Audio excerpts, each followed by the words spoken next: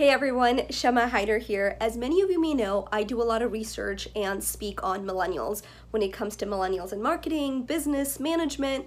But today I want to talk to you about something slightly different millennials and home ownership. My friends at Better Mortgage asked me to talk about my experience with home ownership. They're doing a lot to shed light on how we can increase millennial home ownership because so much research shows that owning your home is sort of the first step and financial freedom and has been historically. Of course, the millennial generation changes a lot of this. Uh, they've got this great white paper out with the Urban Institute that you can check out at better.com backslash spent on rent. I would love to get your thoughts on your own journey and what you think my journey has entailed uh, always choosing to own over rent whenever I can. And I do find that in the long run, it helps um, save more, to build more equity,